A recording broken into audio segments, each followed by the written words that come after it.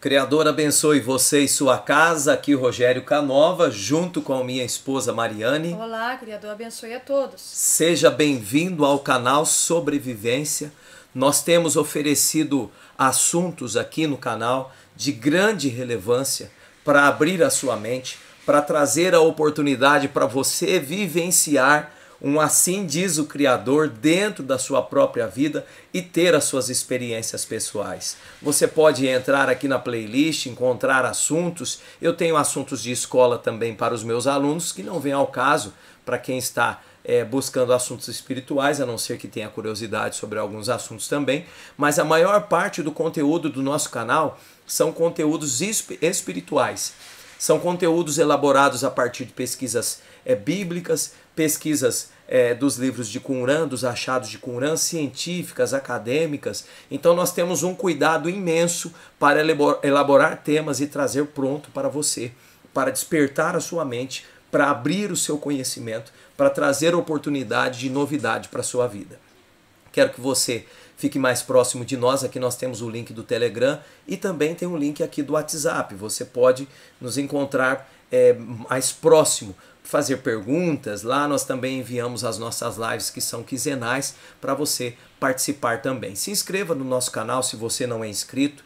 Nós precisamos do seu apoio caso você tenha gostado do trabalho e queira levar as outras pessoas também. Ative as notificações para receber os novos vídeos que normalmente são semanais. Caso não são semanais é porque nós estamos elaborando material bem é, pesquisado para o próximo. Mas enfim, Hoje nós vamos falar sobre um assunto muito especial e eu quero que você participe conosco. Nós queremos mostrar para vocês por que, que nós temos algumas. É, por que, que às vezes nós nos desapontamos com algumas denominações religiosas ou com alguns grupos de desigrejados que permeiam pela internet ou pelas redes sociais ou nas cidades do mundo afora. Eu quero que você compreenda por que, que esses modelos foram mal sucedidos através dos anos. Nós vamos mostrar nesse vídeo também, mas antes de mostrar sobre a segunda ressurreição, eu quero que você perceba que a segunda ressurreição ela é apresentada claramente dentro da Escritura.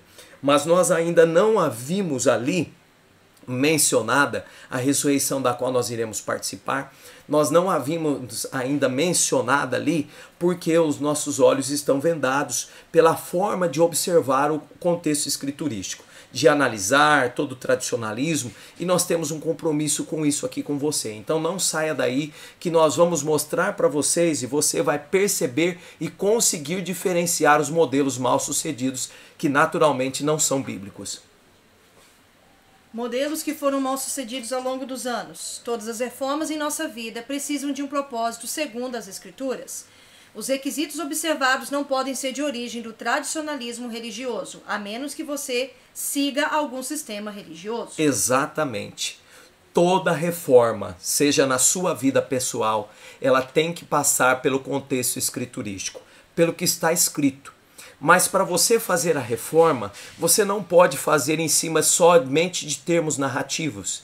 Eu vou explicar para você aqui que Paulo ele dá a opinião dele a respeito de alguns assuntos. Paulo, poucas coisas ele menciona sobre normativa. As coisas que ele menciona sobre normas, sobre regras a seguir, estão todas pautadas no que eles chamam de Velho Testamento, mas essa palavra também não existe. Assim como a obra fora terminada pelos discípulos, não há normativas novas. Precisamos aprender a separar norma de conselho, biografia ou narrativa. A obra já foi terminada. A ressurreição mencionada em Mateus capítulo 24, ela já ocorreu, nós já mostramos em outros vídeos aqui.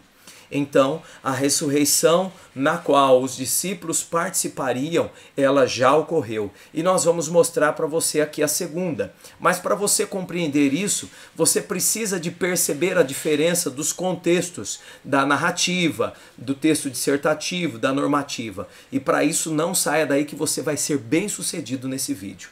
O Criador não precisa de ambientes para salvar. Ele salva nas ruas, nas igrejas, na escola, no vício. O Criador é soberano. Não existe Velho Testamento e Novo Testamento. Quando você ver uma abordagem de igreja ou de grupo dizendo: olha, nós estamos com a verdade, nós estamos com o contexto correto, venha cá, nos acompanhe e venha descobrir o que está no Novo Testamento. Não tem Novo Testamento, nunca teve. essa abordagem ela é cristã. Se você se sente bem seguindo o cristianismo ou o judaísmo, fique à vontade. Nós queremos mostrar aqui a você como entender o que está escrito, como fazer a leitura, como entender o texto antes de colocá-lo na sua mente ou em prática na sua vida. E sim, o Criador não precisa de placa, de denominação, de grupo, seja de desigrejados que seguem canais ou não, ele não precisa disso para resgatar pessoas. Ele é soberano. Você já vai ouvir ou deve ter ouvido histórias de pessoas que foram resgatadas no vício, que foram resgatadas no mundo fazendo coisas horríveis e o Criador chegou até elas. Então, fique conosco e aprenda agora o que é um texto dissertativo é um tipo de texto argumentativo e opinativo, uma vez que expõe opinião sobre determinado assunto ou tema, por meio de uma argumentação lógica coerente e coesa. É claro que você já viu isso em língua portuguesa. Mas tão logo você é, siga alguma denominação, conheça algum contexto tradicionalista, seja ele qual for a religião, você perdeu essa, esse olhar analítico o que seria um texto dissertativo? Paulo faz muitas dissertações. Dentro da narrativa, do contexto de Paulo, você pouco vai encontrar de narrativa. Você encontra mais opinião dele nas cartas. Ele manda a carta aos Hebreus, dando a opinião sobre determinados assuntos. Paulo manda aos Tessalonicenses sobre determinados assuntos. Então, pouco há de norma. Norma é regras, é, uh, explicando o que deveria ser feito. A narrativa. O que é a narrativa, Mariane? É uma exposição de fatos, uma narração, um conto ou uma história. As notícias de jornal, história em quadrinhos, romances, contos e novelas são, entre outras formas de se contar uma história, ou seja, são narrativas. Você tem razão. É isso que você pensou. O, os quatro evangélicos são, evangelhos são narrativas, exatamente. Os quatro evangelhos são um exemplo de narrativa, assim como Gênesis é um exemplo de narrativa. Estão contando a história de personagens que vivenciaram toda a estrutura separada para o povo hebreu ou, no caso de Gênesis, separada para Adão e a sua descendência. Então, quando você for ler um texto que está divulgando os fatos acontecidos, você tem uma narrativa. O que seria normativa, Mariane? Adjetivo que estabelece e determina regras, preceitos, prescritivo, utilizando como regra, padrão, modelo a ser seguido, medida normativa que tem força de regra ou normal, o papel normativo da justiça. Exatamente. Há 15 dias atrás, eu estava conversando com alguns amigos lá no meu trabalho, na escola, e, para minha alegria, nós tínhamos uma professora de língua portuguesa extraordinariamente capacitada ali junto conosco.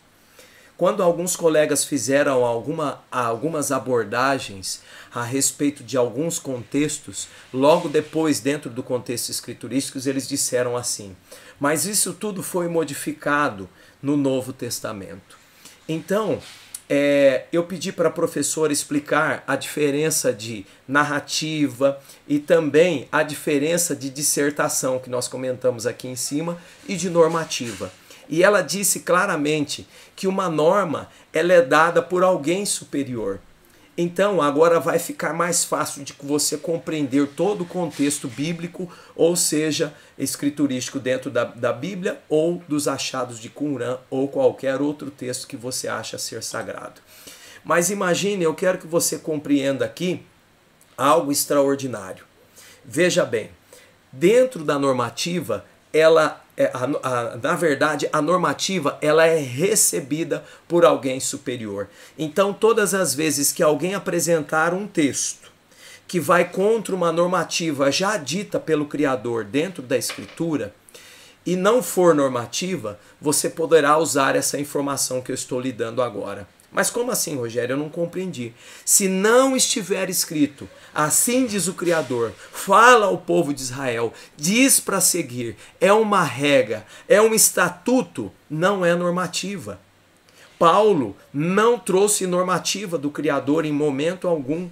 Em momento algum você vai ver em alguma das cartas de Paulo, Paulo dizendo assim: olha, Essa aqui é uma regra nova.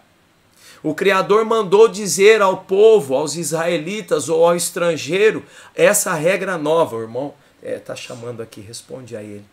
Então, eu quero que você compreenda a diferença de normativa e de narrativa, certo? E se a narrativa estiver diferente da normativa já dita, ora, se o Criador é soberano, se ele conhece todas as coisas, ele é inteiramente capaz de conhecer o passado, o presente e o futuro. E a normativa dele não mudaria. Eu não quero é, mudar a sua opinião. Eu só quero trazer a oportunidade aqui para você estabelecer um conceito de observação do que está escrito. Então isso é normativa, é algo feito para ser justo, para justiça, por alguém justo, por alguém superior. O significado da palavra profético que nós encontramos aqui, Mariane? Que se pode referir a profeta ou a profecia, em que há profecia, que prevê o futuro. Texto profético, sujeito profético. Etimologia, origem da palavra profético, do latim profeticus a um. Então, somos frutos de um tradicionalismo grego, isso é fato. Mas o termo profético aqui, que assombra as pessoas e que poucas pessoas sabem diferenciar, alguns são tendenciosos, jogam para o futuro que já aconteceu, outros tentam encaixar no presente, mas enfim, o termo profético é fácil. O Criador disse: fala ao povo, olha, gerações futuras, olha, vai acontecer e tal. Por exemplo, nós só não podemos distorcer o que nós viemos dizendo aqui, Mateus 24. Mateus 24, o próprio texto diz, o texto narrativo, junto com o profético. Narrativo por quê? Porque o autor aponta quem falou. E ainda algumas Bíblias você encontra em vermelho o próprio Cordeiro, Salvador, que alguns chamam de Jesus, dizendo: Olha, e tudo isso que eu falei para vocês vão, vai acontecer nessa geração. Então aqueles homens estariam vivos. E algumas pessoas pegam o texto, diz que tem cumprimento duplo e é, joga para o futuro. Sentido duplo. Mas ali não tem não nenhuma tem. parte escrita dizendo, olha, vai acontecer com vocês e outra isso, geração. Vai acontecer agora e daqui não sei quantos anos vai é. acontecer de novo. Não existe. É, isso Mas aí é... as pessoas têm esse hábito. Tem esse hábito. Agora que você compreendeu, existem várias formas de compreender o texto, tá? Eu quero que você utilize é, das suas ferramentas para você pesquisar mais. Mas esses são os principais, as principais abordagens que devem ser feitas a um texto antes de compreender o que ele significa, certo? Então, agora que você sabe a diferença de um texto dissertativo, narrativo, normativo e profético, nós vamos ler Daniel 12. E a Mariane fará a leitura aqui para nós de Daniel 12.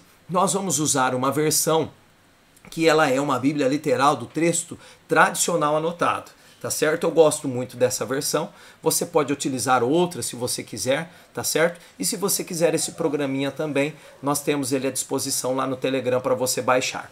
Então, assim, Daniel 12, Mariane, o que, que nós encontramos nos primeiros versos?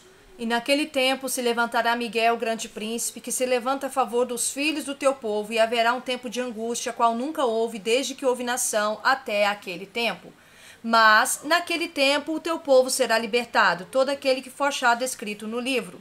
E muitos de entre os que dormem no pó da terra ressuscitarão, esses para a vida eterna e outros para vergonha e desprezo eterno. Esse texto aqui, Mariane, apesar de ser uma narrativa de Daniel, ele é de cunho profético. profético. Então, Daniel está narrando uma profecia, deixou-nos escrito algo extraordinário que traz referência ao povo dele. É, só que tem problema, né? As pessoas lêem profecia e sempre põem para o futuro, ou querem subentender as coisas, né, jogando para o futuro. Só que tem que compreender o seguinte: não é porque a profecia que tem que ser logo para o nosso tempo, porque da época que foi escrita ou falada, né, a profecia, dada a profecia, surgiu uma contagem de tempo ali, uma contagem de tempo determinado. E nós não podemos ser ignorantes de isolar essa contagem de tempo ou ignorar aí milênios para trás e achar que tudo que é para o nosso tempo agora. Se levanta a favor dos filhos do teu povo. Hum, haverá tempo, um tempo de angústia, o é. qual nunca houve, desde que houve nação até aquele tempo. Mas naquele tempo, o teu povo, Daniel, Povo de Daniel. será libertado. Isso. Todo aquele que for achado Escrito no no livro. Então, nós temos uma abordagem aqui é, dentro do contexto escriturístico, né, bíblico, o cânon bíblico propriamente dito, de Daniel fazendo menção profética. Na verdade, o anjo está dizendo para ele. Se você for ler o verso, o capítulo 11 11. e os outros, 2.300 tardes e manhãs, que nós não vamos abordar aqui, mas nós queremos mostrar para você a- a- a- o que de- como observar, você vai perceber que são termos proféticos. Há uma narrativa, mas o termo aqui é profético. É, o verso seguinte, Mariane, Os que forem sábios, pois, resplandecerão como o fulgor do firmamento, e os que movem muitos para serem justificados, resplandecerão como as estrelas sempre eternamente. E tu, ó Daniel, encerra estas palavras e sela este livro, até o fim do tempo. Muitos correrão de uma para outra parte, o conhecimento será multiplicado. Então, note que o mensageiro diz para Daniel será, será selar o livro que não era para o tempo dele. Não. Diferente do que nós vamos ler daqui um pouquinho lá no livro de Apocalipse, não sela o livro, porque o tempo está vizinho. O tempo está próximo. Mas perceba aqui que nós temos uma narrativa ainda para baixo dos fatos, do que nós podemos encontrar. Já pulou lá para Oséias 1, voltei. Eu quero que você observe aqui que nós temos ainda algo a ler para depois, no finalzinho, nós vamos voltar aqui de novo. Verso 11, Mariane. E desde o tempo em que o sacrifício contínuo for tirado e posta a abominação desoladora, haverá mil duzentos e noventa dias. Bem-aventurado que espere e chega até mil trezentos e trinta e cinco dias. Tu, Tu, porém, Daniel, vai até o fim, porque descansarás e te postarás em pé na tua porção no fim dos dias. Então, existe aqui um termo de fim de dia apresentado para Daniel. E nós temos um termo de cálculo aqui utilizado. O Criador é muito claro. Se você for ler a profecia dele ali para trás, você vai perceber que os 2.300 é, 2.300 tardes e manhãs, é, o texto é bem claro. São 2.300 dias corridos, certo? 2.300 dias corridos, 2.300 tardes e manhãs. Aqui nós temos um texto falando sobre é, um tempo, uma contagem de tempo. Mas para entendermos melhor todo esse contexto, nós vamos lá para Oséias, se eu não me engano foi Oséias que eu separei aqui, Oséias 13, 14, nós vamos fazer a leitura de Oséias 13, 14, que é o próximo livro. Oséias 13, o verso 14. A Mariane fará a leitura para nós. E eu, aliás, eu os resgatarei da mão da sepultura e os redimirei da morte. Onde estão, ó morte, as tuas pragas? Onde está, ó sepultura, a tua perdição? O arrependimento está escondido de meus olhos. Pode ler o 15, 15. Mariane.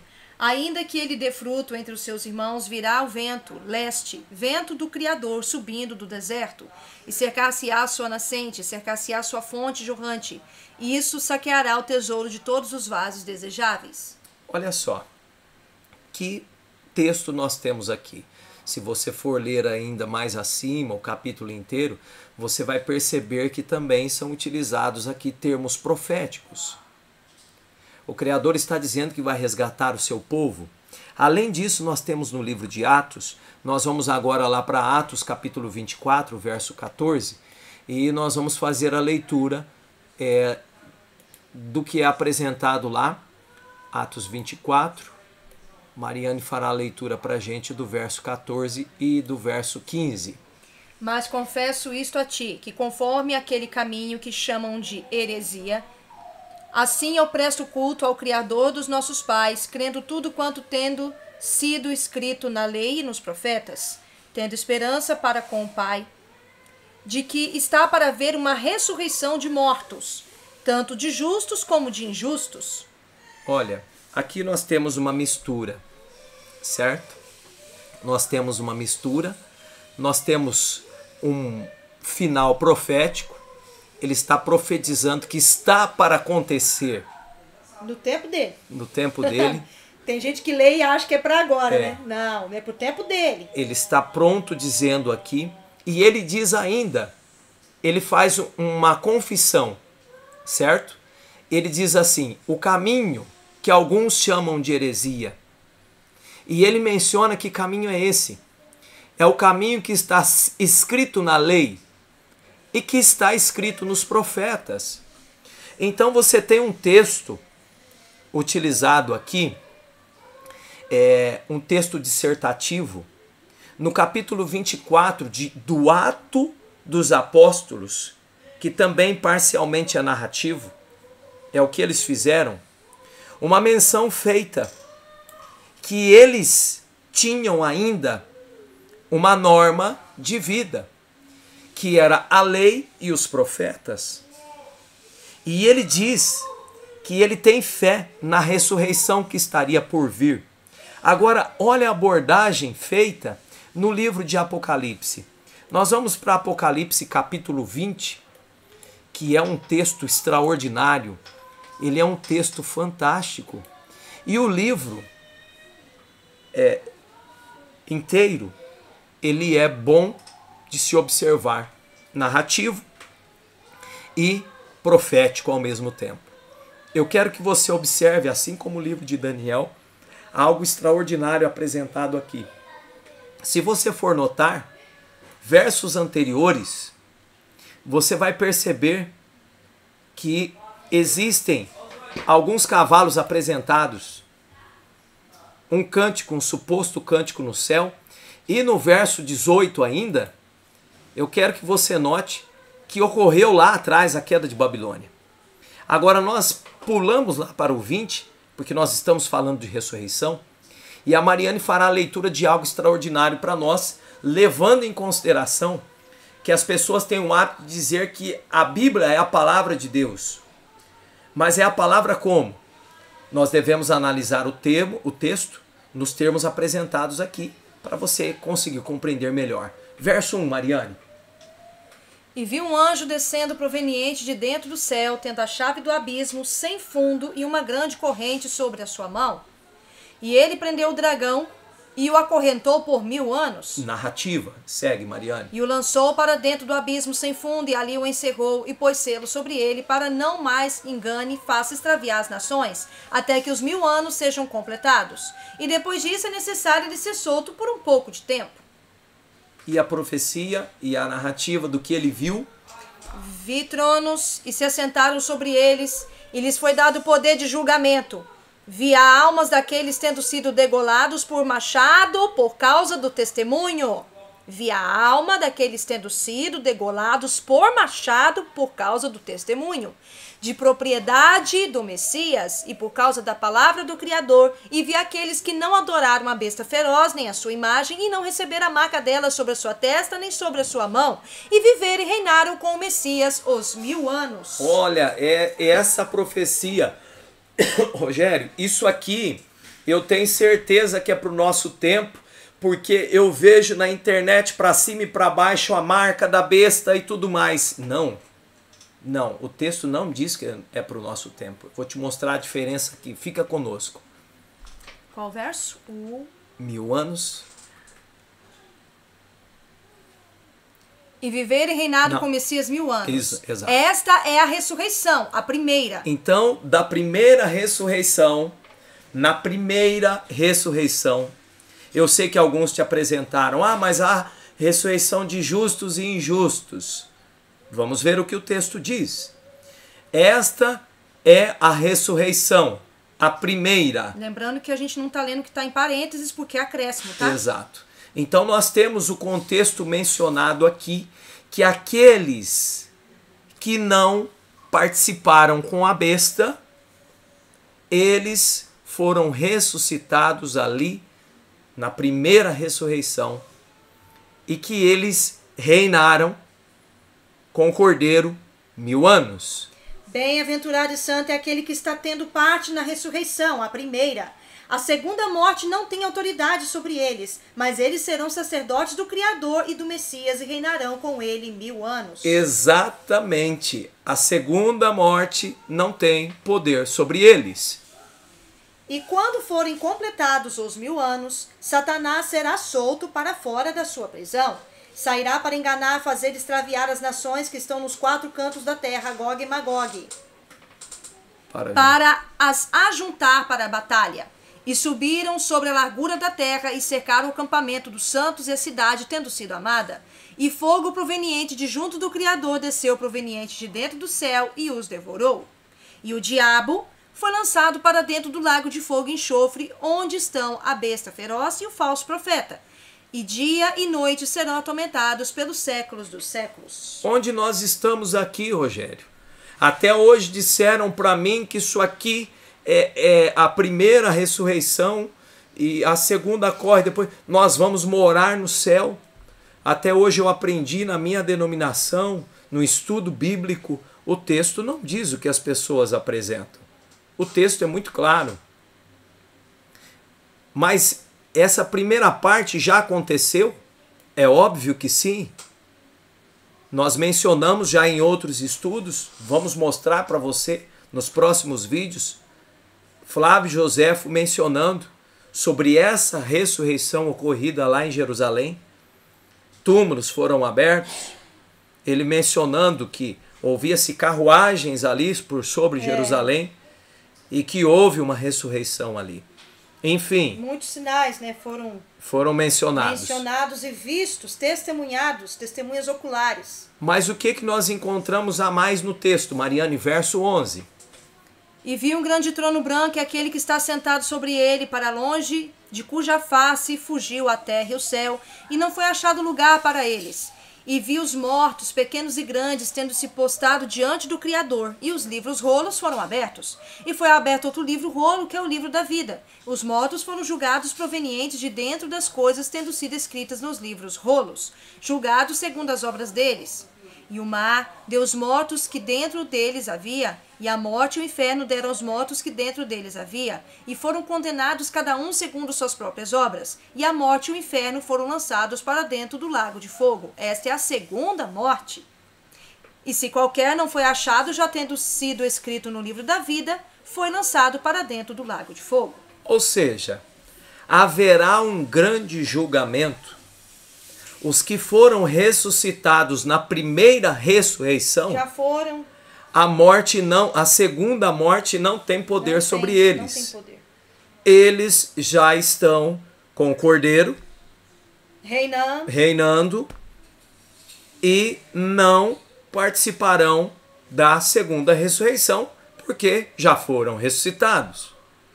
E agora o contexto vem dizendo claramente que aqueles que, segundo os seus feitos, é só ler aqui, entender um pouquinho do contexto escriturístico, aqueles que foram que não foram achados no livro rolo, o da vida mencionado dentro da própria escritura, esses foram lançados juntamente com a morte no lago de fogo.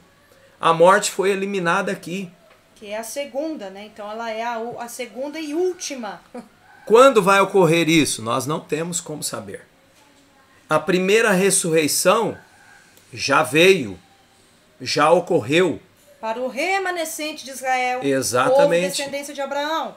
Quando eu digo para vocês em alguns vídeos que algumas coisas da escritura são para nós, esse pedacinho aqui, essa informação dada é para nós. Daqui para baixo é para nós. Certo? Se estivermos mortos na vinda do Cordeiro, no estabelecimento dele, do reino dele terreno, Dia do juízo. nós vamos ser julgados assim. E além do mais, o que, que nós temos aqui para ser observados? Por que, que não tem? É, por que, que não tem agora aqui? Por que, que o Apocalipse não fala de arrebatamento? Ora, se ele desce, por que, que ele vai arrebatar? Nós não encontramos isso no texto. Se ele desce, por que, que nós vamos ser arrebatados? Ah, mas Paulo diz que nós seremos levados junto com o Senhor nos ares. Mas é um povo específico. A, Paulo diz, e nós, os que estivermos Estivermos vivos. Ele se inclui. Se você ainda não compreendeu a leitura, a leitura é essa. Eu não posso ficar com mimimi dentro do contexto, com chororô. Subentendendo nada. Eu não posso. O contexto é muito claro. É via de regra para compreensão. Quem escreveu talvez não imaginava que hoje ia ter essa salada de, de informações hoje de compreensão e o povo ia achar que seria é, arrebatado. Não, pelo menos para nós não tem arrebatamento mencionado aqui, certo? Enfim, a gente aborda Paulo uma outra hora. Mas vamos entender esse contexto aqui escrito. Olha só para quem que for, foi escrito isso aqui. Isso aqui é uma narrativa entregue às igrejas. As sete. Lê pra gente, Mariane. João, as sete assembleias que estão na Ásia. Na Ásia. Brasil não é Ásia, Estados Unidos não é Ásia, China não é Ásia. Ok? Graça e paz sejam convosco provenientes de junto daquele que está sendo e que era e que está vindo. Provenientes de junto os sete espíritos que estão diante do seu trono. Então foi entregue a João, o anjo, a entregue a João, e João escreveu para sete congregações da Ásia e está dizendo ali: aquele que está sendo, que era e que está vindo, ou seja, na época que João recebeu a profecia. Então imagine só que o endereço desse livro, Revelações, é para sete, para sete igrejas da Ásia, Sim. congregações de lá. Congregações, assembleias, isso. Revela um futuro que nos enquadra, sim, mas olha o que nós encontramos lá no finalzinho do livro. E ele disse-me: Essas palavras são fiéis e verdadeiras, e o Criador dos santos profetas, Pai poderoso, enviou seu anjo para mostrar aos servos dele as coisas que são necessárias acontecer rapidamente. Exatamente. Rapidamente. Rapidamente. Verso 10, Mariane. E ele me diz que tu não celes as palavras da profecia deste livro rolo, porque o tempo está vizinho Para Daniel foi dito: para selar. sela porque não é pro teu O tempo. tempo está longe ainda. E para João, o tempo estava ali. Sela, João. É Isso. pro seu tempo. Não cela. É, não cela. aliás, perdão. Não, Não cela, João. O tempo está vizinho, Vizinho. ou seja, ao lado. As portas. As portas. É agora, João. Isso. Não cela, João. É agora. E envia as sete igrejas. Certo? Envia às sete igrejas as informações que eu trouxe. Que coisa extraordinária. Isso é fantástico. Não tem ansiedade, não tem depressão. Olha, eu era mocinha. Minha mãe disse, é, é, é, expressão utilizada, Jesus está voltando. E eu abandonei, hoje eu estou vendo esse vídeo porque eu- demorou demais. Não, ele já veio, querido, querida, já veio. Para o povo Certo. dele, ele já veio. Para o povo dele, ele já veio. A descendência Acontece de Abraão, ele já veio. que por interesses políticos e religiosos que sempre houveram, sempre há um interesse econômico. Olha para o nosso canal. Olha a quantidade de pessoas que nós temos inscritas. Nós não temos lucrado com o canal, é fato. Agora, por que, que as pessoas seguem ainda divulgando informações duvidosas a respeito da Escritura? Porque arrebanha multidões. Porque as pessoas estão com a cabeça voltada para esse tradicionalismo de visão, de forma de ver. Sendo que a Escritura é muito clara. Se você voltar lá agora, se você voltar lá agora no livro de Daniel e ler ele E, todo, não- e a gente também não tá. A gente não tá mencionando versos isolados, não. A gente simplesmente gravou aqueles que são mais. é, contundentes, isso. tem que vai- outros. mas o contexto, pode ler o contexto inteiro. Leia o livro inteiro do Apocalipse, pega os outros livros que a gente mencionou aqui, vai fazer uma leitura aprofundada, um estudo aprofundado que vocês vão ver exatamente assim como a gente está dizendo.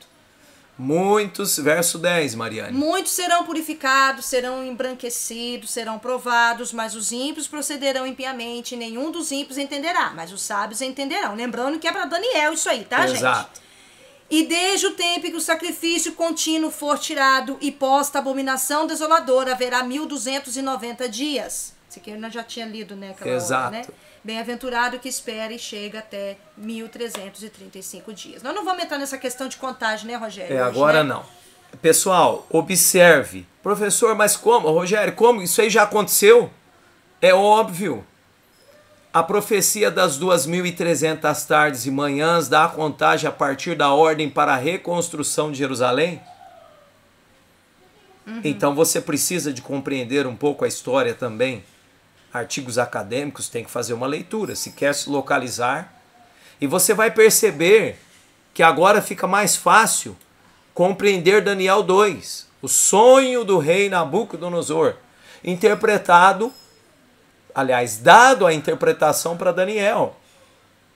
Você vai ver que a estátua que é representada pelo mundo, ela é tingida por uma grande pedra mencionada também. a- o- o- o- imagina que Paulo, conhecedor, ele diz: olha, o cordeiro é a pedra angular, Isso. é a pedra de esquina, é a Isso. pedra rejeitada. É, e se eu não acredito que o cordeiro foi a pedra angular, a pedra rejeitada que Paulo falou, então eu vou acreditar no que então? A vou acreditar na pedra. futura pedra? A pedra atinge essa terra uma única vez. Isso, não tem duas, nem três, nem quatro. é Ah, mas vez. ele não estabeleceu o seu reino. Engano seu. Engano. João dizia: é chegado o reino. Convertei-vos, arrependei-vos, é chegado o reino. O cordeiro dizia: é chegado o reino. No vídeo passado, nós lemos a passagem bíblica onde o cordeiro disse: Meu reino não é físico, meu reino é espiritual.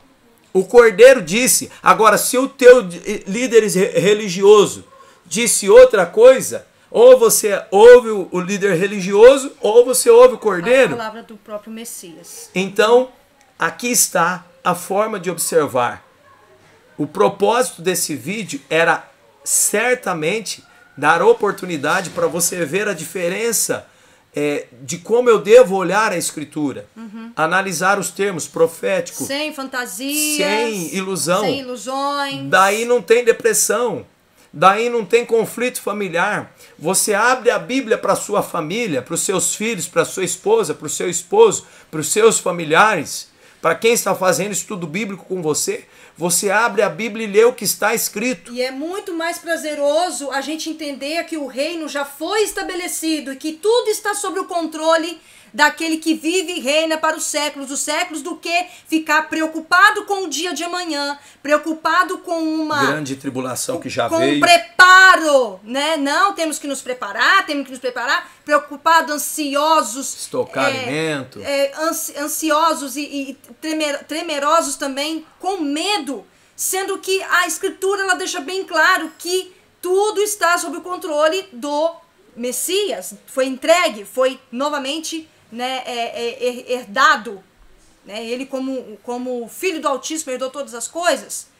Então é muito mais prazeroso a gente sentar com uma criança e ensinar, mostrar tudo que está escrito de uma forma leve, sem peso de consciência, sem peso, sem culpa, né? Porque é o que acontece nos dias de hoje. Pessoas aí que se dizem profetas, né, são é, ridicularizados, né? Fazem vídeos respostas para essas pessoas, né? E cobram acontecimentos. Agora, para quê? De que adianta tudo isso? Só se tiver dinheiro envolvido, né, Ah, Rogério? Como você é. disse. Tá Exatamente. engordando o bolso. Então as pessoas já nem ligam mais se são taxados, se são envergonhados, ridicularizados. O negócio é ter o dinheirinho no bolsinho, engordar o bolsinho, que tá tudo muito certo. Vai só enrolando e tapeando as pessoas com falsas é, profecias e heresias. E para você que está achando que existe uma normativa nova, não existe.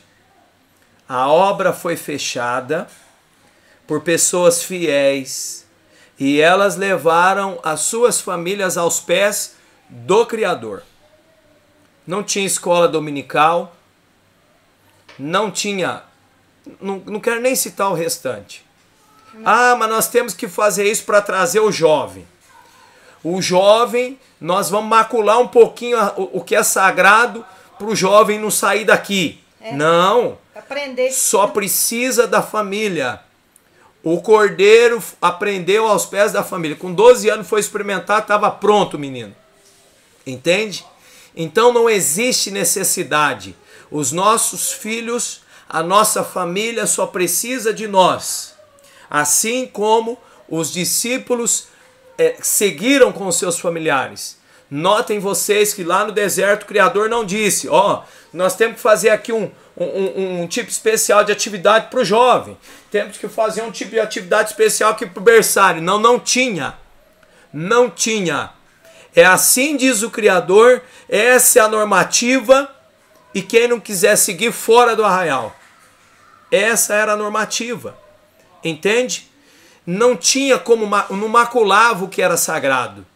E daí você tinha algo de qualidade.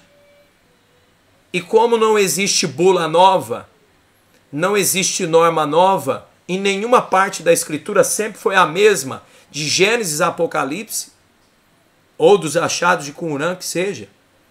Então você segue a escritura. Leia com a sua família, tenha prazer em ler e aprender com a própria escritura o tradicionalismo dos hebreus colocado por eles nas narrativas, nas dissertações da, da Escritura, profecias. nas profecias e nas normas, normas, dadas pelo Criador. Se o Criador não disse, se ele disse não, é não.